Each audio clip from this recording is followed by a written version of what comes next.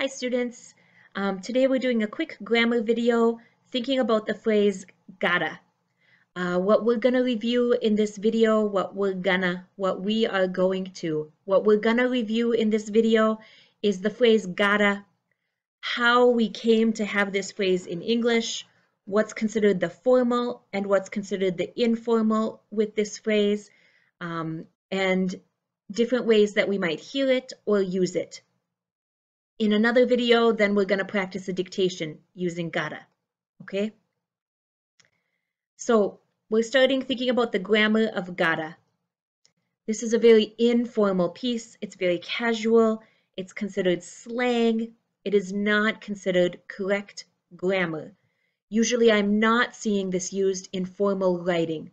I do see this in text message writing um, Instagram, Facebook, Snapchat, WhatsApp, any of the programs that you're using for sending messages back and forth, I absolutely see people write gotta. I do hear people, even in formal situations like a job interview, um, a formal presentation, I'll hear people use gotta. Um, written, however, most of the time just very informal writing. So how did we make this gotta? Gotta began from the sentence I have to, and a verb is being put into this position. I have to travel. I have to work. I have to see. And the, the desire was to add emphasis, to add strength to this sentence. So not just that I have to, but I really have to. I've got to became my sentence. Um, my sentence, I have to buy some milk. Maybe I said it yesterday, I have to buy some milk, and I forgot. I said it again, I have to buy some milk, and I forgot. Finally, I want to give some more strength to this sentence. So I say, I have got to buy some milk. There's no choice. It feels less optional compared to I have to. I've got to feels really strong. However, to hear it separated out, I have got to, is less common. It's a lot more common to hear somebody say, I've gotta. I've gotta buy some milk. I've gotta buy some milk. And then even more informal and more academically incorrect, people say, I gotta. I gotta buy some milk. I gotta buy some milk. And I know that we see got and got is past tense. Today I get a job, yesterday I got a job. So it looks like I have present and past mixed, but it's not past tense. It's being used to add emphasis to my present tense. In fact, we never use this with past. I had gotta, mm-mm. I will have gotta future, mm-mm, never. I only hear this with present tense present simple tense. I have got to. I've gotta. I gotta. I gotta go. I gotta buy. I gotta travel. When we hear this um, with I, we also hear I, I gotta, I gotta travel, you, you gotta, we gotta, and they gotta. And let's look at these ones next. You've got to be on time. You got to be on time. You gotta, you gotta, you gotta be on time. We have got to travel. We really must. We have got to travel. We gotta travel. We gotta travel. They have got to finish their work. No more choice. They have got to finish their work. They gotta finish their work. And I will also hear, for example, this sentence, they got to finish their work.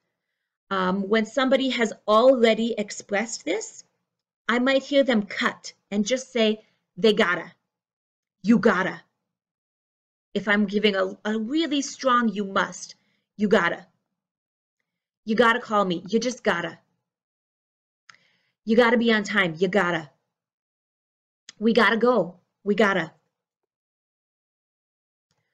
When we come to he and she, Of course, the have is becoming has because I have to, I have to, but he or she has to, it has to. She has to work this afternoon.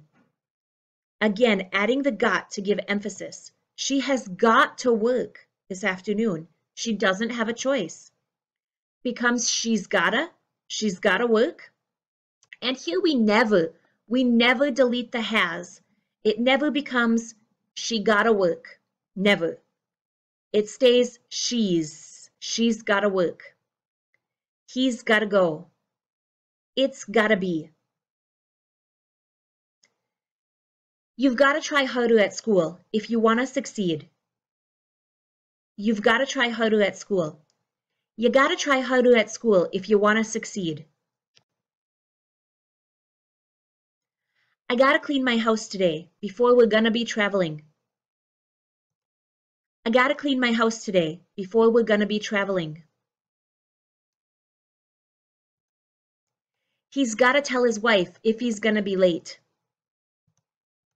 He's really got to tell his wife if he's to be late.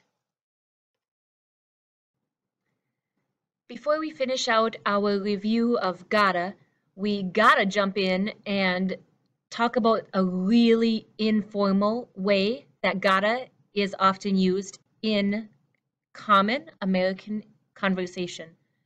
Um, my next phrase, there's almost no grammar underlying this phrase. It's really bad um, combined together grammar. This, what do you got to do? What do you got to do after class?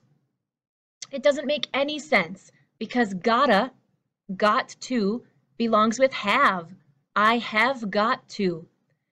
It doesn't make any sense to say I do got to. It, it doesn't make any sense um, grammatically. But I hear people say, I do gotta go when they want to give emphasis to it. I do got to call you back. Um, I do got to finish that work to give emphasis with the do. Another way that I hear gotta in very, very informal usage um, is this phrase of do what you gotta do. Do what you gotta do. Um, often this phrase is used to describe, for example, a, a struggle, a bad situation, and somebody's maybe complaining or arguing about this is too difficult, this is too uh, frustrating, this struggle is too much, and then somebody says, just do what you got to do. Do what you need to do. Do what you have to do. Do what you got to do. So quick notes to review this piece of gotta. Remember that gotta began as I have to slowly became I have got to, became I've gotta, lazy, we dropped the have and it became I gotta. Remember, this is very informal. This is adding emphasis and strength. I really want to make a stronger sentence. I must, I have to, I gotta. It's only used in the present. I'm not hearing this in the past. Even though got looks like past, I'm using it for present tense. We are cutting, we are dropping the word have with I, you, they, and we as the subject. So I have got to, I gotta go. You gotta go. They gotta go. We gotta go. But we are keeping the has with he, she, or it although you'll hear it reduced down, contracted down to the S. He's gotta, he's gotta work. She's gotta, she's gotta be. It's gotta, it's gotta change. It's gotta get better. It's gotta get easier after some time. Okay, let me know in the comments, how is this piece for you? Try out some sentences down below using gotta Remember that gotta is really informal, but it is something that we should know how to use so that when our coworker, manager at work, um, landlord, classmates are using this, we're understanding it. Um, next video I'll be making and putting up for us is going to be a dictation using gotta. Watch for that. It should be dictation number 10 on the channel. All right, see you later, students.